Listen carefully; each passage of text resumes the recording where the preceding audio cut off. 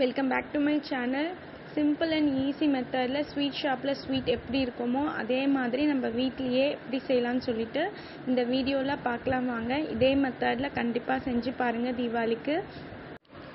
ரெண்டு கப் அளவு காய்ச்சாத பால் எடுத்துக்கோங்க. அரை கப் அளவு சர்க்கரை சேர்த்துக்கோங்க. ஸ்வீட் கொஞ்சம் அதிகமாக சாப்பிடுவீங்கன்னா முக்கால் கப் கூட எடுத்துக்கலாம். எடுத்துகிட்டு சர்க்கரை நல்லா கலந்து விட்டுக்கோங்க.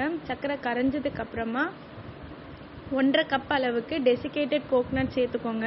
கோகனட் சேர்த்ததும் பால் ஃபுல்லாக ட்ரையாக இருக்குன்னா இன்னும் ஒரு அரை கப்லேருந்து ஒரு கப் அளவு கூட பால் வந்து இதோட சேர்த்துக்கோங்க.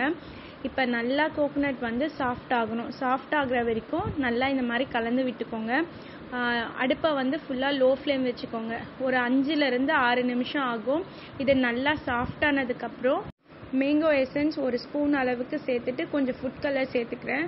எசன்ஸ் உங்ககிட்ட இல்லைன்னா ஒரு அரை ஸ்பூன் அளவுக்கு ஏலக்காய் தூள் சேர்த்துட்டு ஃபுட் கலர் சேர்த்துக்கோங்க. சேர்த்துட்டு இதை நல்லா வந்து கலந்து விட்டுக்கோங்க. இப்போ ஒரு மூணு ஸ்பூன் அளவுக்கு மில்க் பவுடர் சேர்த்துக்கோங்க. சேர்த்துட்டு இதை நல்லா திரும்ப கலந்து விட்டுக்கோங்க. ரொம்ப ட்ரையாக இருந்துச்சுன்னா ஒரு கால் கிளாஸ் பால் கொஞ்சம் சேர்த்துக்கலாம். இப்போ ஒரு ஸ்பூன் அளவுக்கு நெய் விட்டுட்டு ஒரு அஞ்சுலேருந்து எட்டு நிமிஷம் லோ ஃப்ளேம் வச்சுட்டு இதே மாதிரி கலந்து விட்டுட்டே இருங்க. இப்போ சர்க்கரை பால் டெசிகேட்டட் கோகோனட் எல்லாமே ஒன்று சேர்ந்துட்டு அப்படியே கெட்டியாகிட்டே வரும். நீங்கள் லோ ஃப்ளேம் வச்சு தான் பண்ணணும். ஹை ஃப்ளேம் வைக்கவே கூடாது.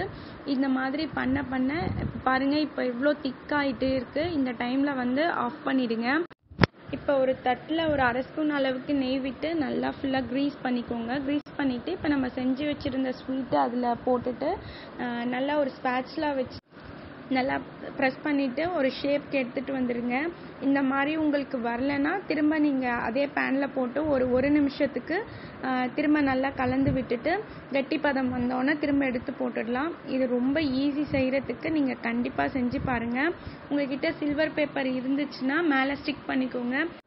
அப்படி இல்லைன்னா நட்ஸ் கூட மேலே போட்டுக்கலாம். இதை பண்ணிவிட்டு ஒரு டென் டு ஃபிஃப்டீன் மினிட்ஸ் ஃப்ரிட்ஜில் வச்சு எடுத்துக்கோங்க. எடுத்துட்டு ஒரு நைஃப் வச்சு இந்த மாதிரி கட் பண்ணிக்கோங்க. சைடெல்லாம் எடுத்துட்டு. ரொம்ப சூப்பராகவே வந்துச்சு. ரொம்ப நல்லா இருக்கும். சீக்கிரமாகவும் நம்ம செஞ்சிடலாம். கண்டிப்பாக இந்த தீபாவளிக்கு ட்ரை பண்ணி பாருங்கள் ஸ்வீட் ஷாப்பில் எப்படி இருக்குமோ அதே டேஸ்ட் இருக்கும். உங்களுக்கு இந்த வீடியோ பிடிச்சிருந்தா மறக்காமல் சப்ஸ்கிரைப் பண்ணிக்கோங்க. இதே மெத்தடில் செஞ்சு பாருங்கள் ரொம்ப சாஃப்டாக அவ்வளோ நல்லா இருந்துச்சு. வீட்டில் எல்லாருமே நல்லா இருக்குன்னு சொன்னாங்க. கண்டிப்பாக இந்த தீபாவளிக்கு நீங்களும் செஞ்சு பாருங்கள் ரொம்ப சிம்பிள் அண்ட் ஈஸியாகவே நம்ம செய்யலாம். செஞ்சு பாருங்கள் advance happy Deepavali thank you so much for வாட்சிங்